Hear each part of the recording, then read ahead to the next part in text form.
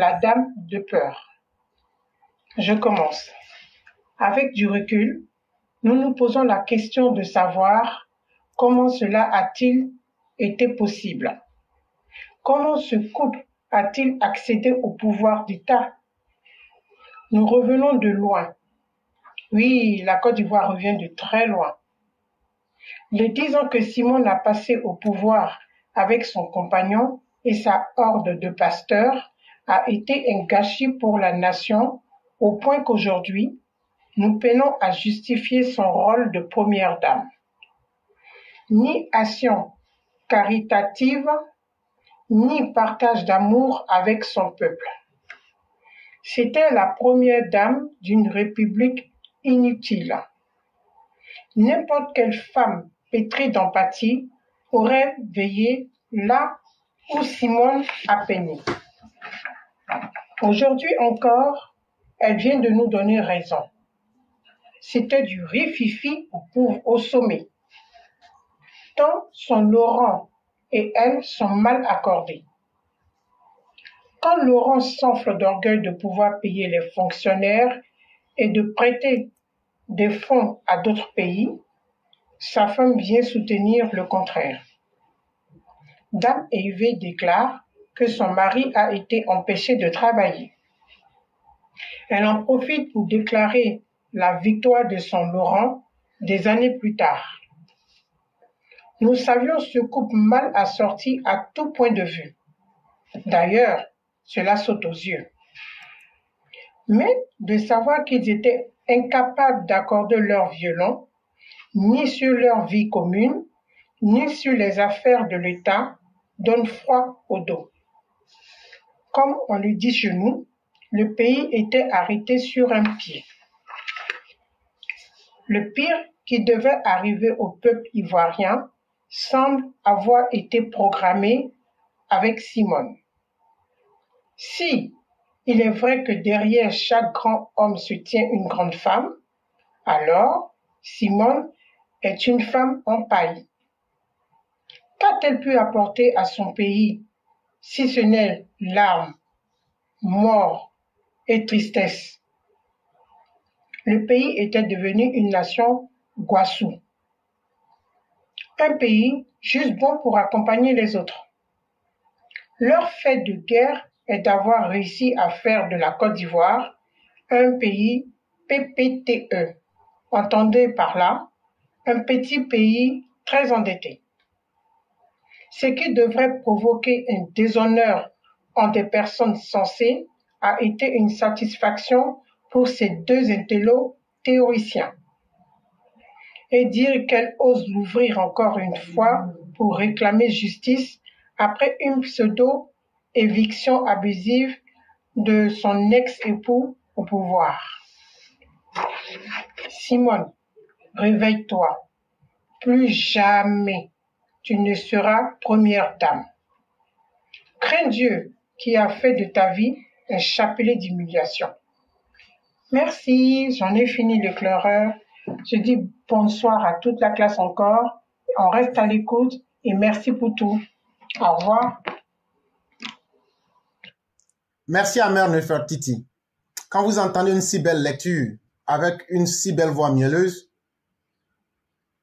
vous voyez déjà que cette mère qui vous parle, c'est une mère qui est belle. Mais quand vous entendez la, voix de la gourgandine, vous savez que vous avez affaire à une vilaine femme. Et donc la différence est là. Quand on prend une vraie femme, et puis on prend un vrai homme là, un vrai homme là, on s'attend à ce qu'il soit un dur. Si la dureté est une qualité chez les hommes, la tendresse, par contre chez la femme, cette qualité-là. C'est ce qui est attendu d'une femme. Quand une femme est dure là, même si elle est belle là, ce qui n'intéresse personne. Or, il se trouve que, à la tête de la Côte d'Ivoire, c'était Simon Templat avec Seplou qui était au pouvoir.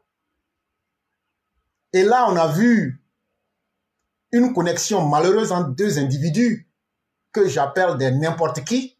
Oui, je parle de Simone et de Laurent Gbagbo. Le pays était dirigé par des n'importe qui.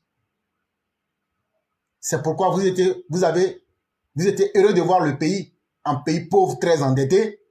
Vous étiez heureux d'envoyer les jeunes gens à la guerre, de les faire massacrer. Vous avez imposé une guerre civile injustement pour massacrer le peuple ivoirien. Et aujourd'hui, cette première dame qui n'a à son actif aucun bienfait en termes de bien social, même dire qu'elle a payé une poupée chinoise pour remettre un enfant en Côte d'Ivoire, personne ne connaît. Simone, il faut sortir. Tu as payé poupée chinoise pour donner à, une, un enfant, là, il faut sortir, tu vas dire. C'est une honte. C'est une honte. Et mais ce, qui est encore le plus dégradant dans son histoire, c'est qu'il n'y a rien de bon qui sort dans bouche là. Tantôt, c'est le diable Belzébuth. C'est le diable Asmodée. C'est le diable Baal. Adoratrice de Baal que tu sois. Adoratrice d'Asmodée. Adoratrice de Baphomet. C'est elle chaque fois qui est visitée par des démons. Parce que quand le démon se présente à toi, il ne vient pas te dire je suis le démon. Il se fait appeler Seigneur des armées. Et donc, dans un abrutissement mental des plus dégradants, elle a été conditionnée des jeunes gens pour faire brûler des gens vifs. Et ce que j'ai dit, c'est sous le contrôle de ce qu'elle a manipulé. Les vidéos sont là. Et tout dernièrement, après avoir vu le Laurent et Nadi Bamba alias Wusuna Nasiji 100%, parce qu'actuellement là, ce qui fait son là, c'est le Wusuna et puis le Nasiji de Nadi. Ça laisse pas Laurent. Et donc quand elle a vu Mami Wata Nasiji Wusuna avec Laurent, en photo de couple avec le couple Ouattara. Non. La vieille Simone ne pouvait plus contenir son goumin. Elle s'est levée en même temps. Elle dit non, non, non. Faut que moi, je montre à Laurent que j'existe. Faut que j'insulte Ouattara. Là, comme ça, Laurent va savoir que je suis là. Et même si tu fais ça, le vieux là, il dit, t'aime plus. C'est ça aussi qui est la vérité. Il dit, il t'aime plus parce que tu n'as même pas une belle voix. Il dit il t'aime plus parce que tu es dur comme, comme, comme caillou. Il dit il t'aime plus parce qu'il n'y a aucune beauté à l'intérieur de toi. Il dit il t'aime plus. Simone, Bagbo dit il t'aime plus parce que tu es PPT. C'est ça qui est la vérité. Les gens vont pas avoir le courage de te dire, mais moi je vais te dire. Laurent dit il t'aime plus là parce que toi là, tu es une adoratrice de Zangbeton. Et donc là, il dit maintenant là, c'est Wussunan et Nadi Bamba avec Allah Wakubaru qui marche. Mhm. On va te dire ça. Bientôt, tu vas entendre que Laurent est devenu musulman. Là, je dis pas musulman, je dis musulman. Donc là, ils vont mettre Wussunan là sur lui. Après, il va boire Nasiji là. Quand il va devenir musulman là, tu seras perdu dans le film. C'est ça qui est la vérité. Et donc, je n'avais pas compris. C'est là, il y a un élève de la classe qui me dit, il dit, mais éclaireur, toi, tu es bête. J'ai dit, oui, oui, c'est ce qu'on me dit même, que je suis pas intelligent. Que ce que tu ne sais pas là, que c'est Goumen qui fait qu'elle a dit que Ouattara n'a pas été élu. C'est là j'ai dit, ah, ok. Que tu n'as pas vu, c'est après la photo du couple là, qu'elle est sortie et puis elle était énervée. Et donc, c'était une manière pour elle d'insulter pour que Laurent puisse prêter attention à elle. Mais Laurent est devant. Laurent s'en fout de toi. Laurent fait rien avec toi. Femme PPTE. On dit que quand tu insultes là, quand on va en prison. Bon, moi, je t'ai insulté. Si tu veux, il faut me mettre en prison. C'est parce que aujourd'hui, là, tu n'as pas les moyens. Sinon, là, ceux qui t'insultent, là, tu les tues. On te connaît. Marraine des escadrons de la mort que tu sois. Et nos mères viennent de te démonter en pièces détachées. Comme Woro Woro, deuxième main. Il faut avoir des légas pour ton existence. Et tellement elle est femme PPTE, elle dit qu'elle est devenue docteur. On demande, tu es devenue docteur en quoi? Drumologie. Hey, elle ment aux gens. Drumologie, là, ça ne veut rien dire. Elle est devenue professeur, eh, docteur en tapé tam-tam. En, comment on va appeler ça? En tambour. En tam-tam. Au lieu de dire docteur en, eh, en, tambourologie, ou bien en tam-tamlogie, elle a honte de dire ça. Elle dit, bon, on n'a qu'à prendre le mot anglais drum pour dire drumologie. Là, comme ça, les gens ne vont pas comprendre. Mais nous, on va dire toute la vérité aux gens. Elle dit qu'elle est devenue professeure, docteur en tapé tam-tam. Depuis quand vous avez vu une femme être fière d'être tapeuse internationale de tam-tam C'est ça que Simone est devenue. Et c'est ça qui a dirigé la Côte d'Ivoire. Femme tapeuse de tam-tam jusqu'à elle est devenue professeure, docteur dedans. Chier. Nous, on n'avait jamais vu ça. Et c'est pourquoi elle a les muscles durs, durs comme ça, on dirait Pentat qui a fait 15 ans. Parce que quand ils vont au marché là pour payer les poulets là, les pondeuses qui ont, pondu, pondu, pondu jusqu'à fatiguer là, leur chef devient dur, dur comme ça là. C'est comme ça elle est devenue, on dirait Rambo. Mais c'est taper tam-tam là qui t'a rendu comme ça. Et tellement tu as tapé, tapé, tapé tam-tam là, ton cœur est devenu dur. Ton cœur est devenu dur comme tam-tam. Et donc là, je vois même pas, il y a quoi de bon en toi-même? C'est comme mouche. On peut peut pas te prendre pour faire sauce. On peut pas te prendre pour faire eh, eh, viande. On peut pas te prendre pour faire soukouya. Tu es là comme ça. Mais c'est ton comportement qui est sur toi. C'est ton comportement qui est sur toi.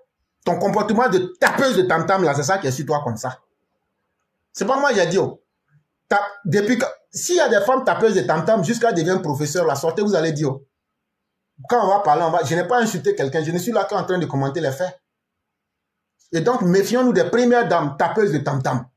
Méfions-nous des premières dames marraines des escadrons de la mort. Méfions-nous des premières dames qui encouragent leur mari président à être fiers des PPTE, d'être PPTE. Méfions-nous des premières dames qui sont incapables de faire don de 500 francs CFA à une petite fille. Méfions-nous des premières dames qui n'ont pas de belle voix. Méfions-nous des premières dames qui, en matière de beauté physique, c'est pas le grand rayonnement. Hein. Je n'ai pas dit qu'elle est vilaine. J'ai dit c'est pas le grand rayonnement. Sinon, quand tu regardes Dominique, si le vieux même là, si c'était pas passé, c'était notre vieux là, nous, on allait faire palabre avec lui. Si c'était pas parce que le vieux même là, il travaille là, on allait, on allait lui arracher la vieille mère. Ça, c'était une manière pour plaisanter, mais comme pour dire que vraiment, vraiment, ce qui caractérise une femme, c'est sa beauté. Une femme là, tu peux ne même pas être physiquement jolie, mais quand tu as une voix douce, quand tu es, I don't know how to say that. Je sais même pas comment dire, mais vous savez de quoi je veux parler. Voilà. Quand tu es une vraie femme là, tu n'as même pas besoin de forcer. Ça vient naturellement, on force pas. Regarde Dominique, elle force pas. Est la première dame. Thérèse, elle force pas. Elle a 90 ans et plus mais elle force pas. Mais toi, tu es là, tu forces, on dirait Barada jamais. Derrière là, c'est percé. Devant là, il n'y a pas carreau, mais tu es là, tu es dans la circulation comme ça. Hein? On dirait Baka même d'Adjamé, ou bien même de Benjerville, ou bien de, de Yopougon. Tout est cassé dans toi, mais tu es là. Tu sors pour parler comme ça. Mais quand tu es une femme, n'importe qui, parce que Laurent, vous dites que vous n'étiez pas n'importe qui, vous étiez n'importe qui au pouvoir. On ne vient pas au pouvoir pour payer le salaire des fonctionnaires. J'ai bien dit ici, pour toute personne qui a un minimum de formation politique, quand tu viens dans la politique là, on te dit que le premier rôle d'un homme politique c'est d'assurer la sécurité de sa nation. Quand tu finis d'assurer la sécurité de, ta nation là, maintenant il faut t'arranger pour ne pas t'attirer le courroux du peuple. Et pourquoi il ne faut pas s'attirer le courroux du peuple? Parce que le peuple là, lui on peut le manipuler. Le peuple là, lui il est plus facile à manipuler que manipuler les grands. Et donc là, il faut s'assurer que tu as le soutien de la route, de, de, euh, de, la rue. Et donc, il faut donner au peuple ce qui peut le contenter. Et toi, tu as inversé la politique. Tu utilises le peuple pour vouloir avoir le pouvoir. Mais quand tu as le pouvoir, tu veux rejeter le peuple. Ça ne marche pas comme ça. Tu n'as rien compris dans la politique. C'est pourquoi moi, j'ai dit, moi, Éclaira, que toi, tu n'es pas politicien. Parce que toi, Laurent, là, moi, je peux te démonter en pièces détachées devant le monde entier et je le fais ici chaque jour. Et donc, payer les fonctionnaires là. Même le plus nul des Ivoiriens peut le faire. Et c'est pourquoi vous êtes resté dans une gestion approximative, lapidaire et, scandaleuse, scabreuse de la Côte d'Ivoire qui nous a conduits dans les abîmes. Mais c'est totalement normal. On dit derrière un grand homme se trouve une grande femme. Mais derrière aussi un homme calamiteux se trouve une femme piteuse. Une femme désordonnée. Et c'est ce résultat-là qui a été votre gestion. Et donc, nous, on vous regarde dedans. On va vous combattre, vous tous. Vous, vos élèves, Blé Goudé, Soro Guillaume, tout, tout, tout. On va vous combattre sans exception. C'est de cela qu'il est question. Pour que la Côte d'Ivoire se souvienne qu'on n'a plus besoin de voir Aglagla et plus au pouvoir. Ceux qui ne connaissent pas Aglagla, allez sur YouTube, vous tapez Aglagla, vous allez comprendre de quoi il est question.